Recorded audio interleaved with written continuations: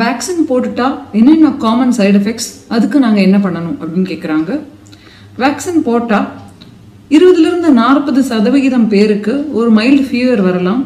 கை கால் வலி தலைவலி ஒரு மாதிரி உடம்பு அசதியாக இருக்கிறது இதெல்லாம் ஏற்படலாம்.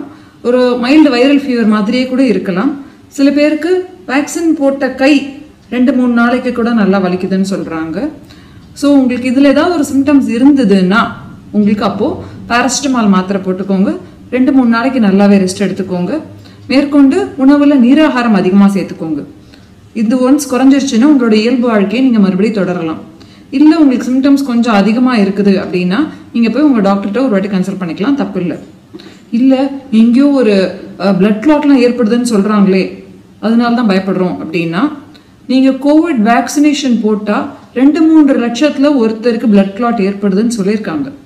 ஆனால் உங்களுக்கு கோவிட் வந்ததுன்னா one in twenty five thousand பேருக்கு அதே பிளட் கிளாட் வரத்துக்கு இப்போது ஜாஸ்தி ரிஸ்க் இருக்குது இப்போது வேக்சினோட டிசீஸ் வந்ததுன்னா எட்டு மடங்கு higher risk for the same complication அதனால யோசிச்சுட்டு இருக்கிறதுக்கு இப்போ டைம் கிடையாது.